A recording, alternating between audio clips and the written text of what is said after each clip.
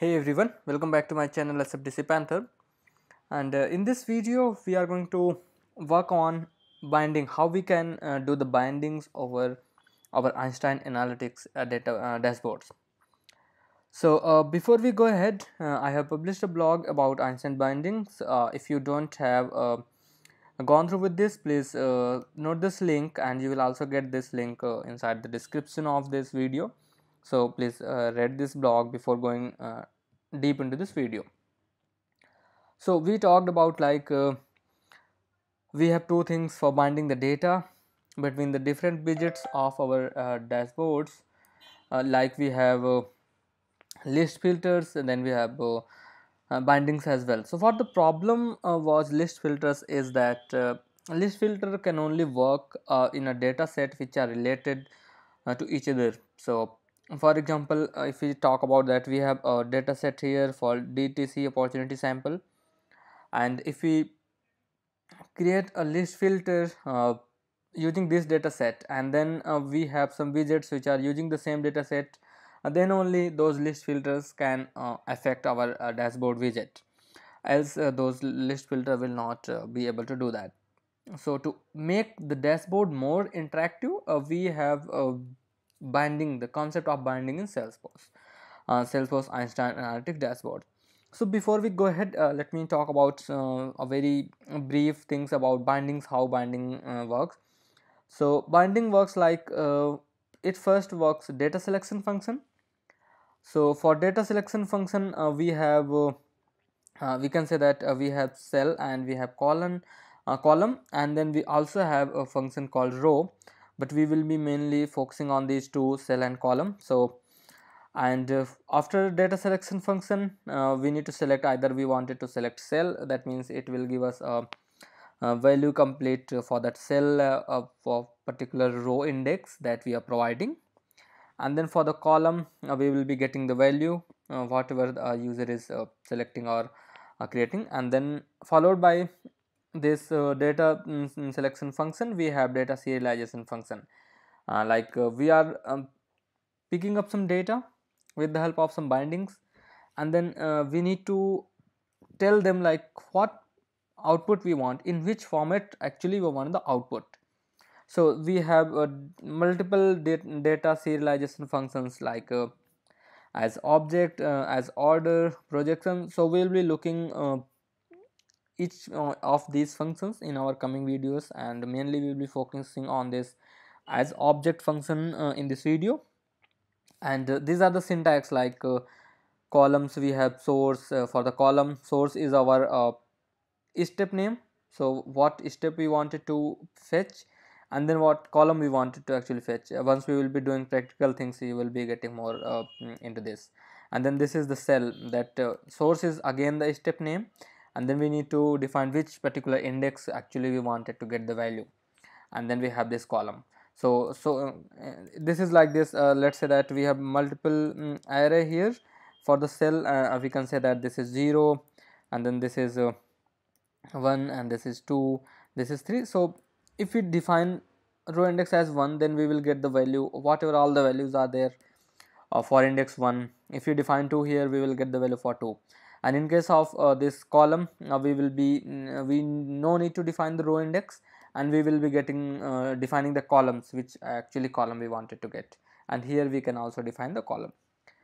And we have uh, types of bindings here. So we can say that uh, we have types of bindings as well. And we already published that blog so um, first is we can say that selection binding. A selection binding is something like i'm selecting uh, a toggle and then i want the output based on my selected uh, so for example uh, we are displaying the sum of amount for the opportunities and uh, I want to see the sum of amount based on the opportunity type or based on the product family so we can work on selection binding. And then next we have is result binding. So this uh, this is basically uh, used uh, whenever we wanted to get the result for a first step and then use into the second step so how this is going to uh, look like uh, let's say that uh, we wanted to get the sum of amount of top 10 products. So what we need to do is in the step 1 uh, we need to get the top 10 products. And then in the step 2 uh, we need to um, get the sum of our uh, top 10 products. And these top 10 products uh, we will be using here with the help of result binding so these all will be using result bindings so this is a very brief uh, introduction about bindings and uh, we will be working uh, uh, about 3 to 4 working sessions um, for these bindings. So we will be covering all these things that are that are required to work with bindings data binding so in this uh, release uh, winter 20 we have uh, this we have to do some coding mm, for binding to generate the binding function. But in the coming release spring 20 we will be getting we will be able to generate bindings with some clicks so we don't need to worry about that. So for now just let's quickly see. Uh, we wanted to show the sum of amount so we can say that sum of amount here. And now we are able to see only one chart uh, sorry one line that is 124 million. So let's add some grouping here. So i'm going to add with uh let's say that i'm going to talk about industry here. So now let's uh, start it descending. So we can see that uh, we have uh, maximum amount at the top and then minimum amount at the bottom. So now we have this chart but this chart is only displaying the information with the we can say that amount by industry. So let's clip this uh, our lens into our uh, we can say that uh, I'll say that uh, amount by industry and we will clip this to our dashboard. So this is our dashboard. Now we have got this uh, amount by industry. So let's quickly uh, drag and drop here in the designer and increase the width and height. So we have got this um, particular uh, dashboard view. We can see that uh, we have sum of amounts and uh, we are getting industries uh, by some now now what if i want to see the sum of amount by account type and i've also wanted to see the sum of amount by uh, we can say that product family. So mm, there are two things uh, that we can do is uh, either we can create two more widgets two more lenses and we can say that now grouping by again grouping by account type and then again grouping by product family. Uh, but that will not uh, be a good idea. So for this we have a binding. So uh, what we can mm, do here is uh, let's quickly uh, from the left hand side you will see this toggle. Let's quickly drag and drop into the um, designer section. And you need to expand this and then click here.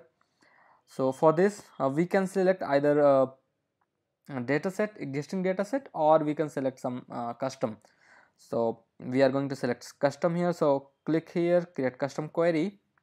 And you can see that there are two columns. You can add as many as you want so here i'm just going to say uh, i'm going to rename as display. So it will be a small d. And for the name here i'm going to say industry. And then again i'm going to say account type. And then here say product family. So these are the only three that I just wanted to. And here in the column so you just need to click here add column. So if you wanted to give the API name of these industries. Select uh, text either number. Or if you wanted to do some formula things uh, you can select here measure. And if you wanted to select some uh, API name from the data set that uh, we are going to do so select dimension. So this is how uh, in the this is this came into the last release and that is winter 20 and uh, this is very cool to work with uh, dynamic bindings. So here I'm going to select again the same data set and uh, for the dimension let's quickly uh, type here. For the industry I want industry here and then for the account type I will type here account type here and then product family. Again we will search for product family. So up to here we are good. Uh, we have uh, created a static step and uh, for the query you can say anything but it will be uh, taking the name by its own. I'm not going to change it. Even you can you wanted to you can change and here you can see this is the dimension and if you wanted to rename it so i'm just going to say as a, a value here instead of a dimension 2 so now i am able to see value here. So click done here. So you can see that now we have got this uh, toggle here. So to make the changes like if you want to mm, make uh, font size like 12 or 14 or you want to change the text color size uh, I'm just wanted to make sure that I'm changing it for the selected type style if you wanted to change what will be the color and what will be the background color and you can select that as well. And uh, even if you wanted to give some borders uh, you can give and I just wanted to give some borders here uh, so that there uh, the, there will be uh, so look and feel a very good light. So now we have got this. And uh, in the query tab if you'll see you have an option here. Either you wanted to what, what will be the selection type? So i wanted to single selection required. So what it will be? It will always be selected uh, one uh, one value. So it will always be mm, selected. So if you see i even i dropped i'm clicking uh, nothing is happening here in in my dashboard. So to this what we need to do is uh, first thing let's quickly edit this because uh, we uh, discussed that while working with the dynamic bindings we need to uh, do some coding. So first thing let's make sure that uh, our code is coming into the SAQL mode. So I'm just going to do nothing. I'm just removing semicolon and then again putting that running the query updating it. And uh, now if I go to the JSON form so if you wanted to uh, you mm, see the JSON of this dashboard you have two options uh, for the Windows use control E and for the Mac users use command E. So just use your uh, mm, this as per your uh, convenience.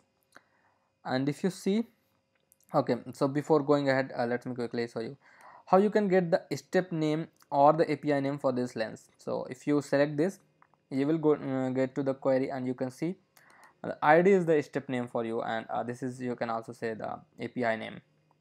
And for this and again you need to use query and you have static underscore one. So let's quickly copy this and then uh, go to the edit mode here find your uh, query and you can see that this is the uh, SAQL query uh, we were looking into. So now what we are going to do is as we have our uh, toggle with us now we wanted to uh, see if we have selected industry it should show industry for us. We have selected account type it should show account type amount grouped by sorry a sum of our amount grouped by product family or account type so what we can do is uh, so here uh, that you need to uh, be a bit more focus on this. So remove industry. I'm going to remove. First step is uh, put to opening curly braces and then to closing curly braces. This is your first step. And the second step that we discussed is a data selection function. So we talked about that we will be working more with columns and row sorry uh, yeah column and cell. So i'm going to use here column. Uh, no worry about that. Uh, we are going to work with uh, cell as well and row as well. So as it is a function so uh, we need two opening and close uh, sorry one opening and closing parenthesis. So this is your second fun second step that you need to provide your data selection function. Now your next step is to provide which step you wanted to select. What what is the um, sorry you wanted to select. So here uh, we need we have this static one. This is our step. And based on the selection of this step or based on the result of this step we want the output. So we need to select our step. We found our step. Now which binding we wanted to apply? Uh, either selection or result. So here our use case is result. So i'm uh, sorry selection. So i'm going to select uh, selection here. Uh, static one selection and then put a comma here. Uh, it takes two parameter because uh, let's uh, go back here. You can see that it takes two parameter column what is our step and column name. And then provide this opening sorry square brackets. And then inside that you need to put double quotes opening and closing double quotes and then uh, type here value. So what is this? This is actually the column name of our static uh, parameter our static toggle that we provided here.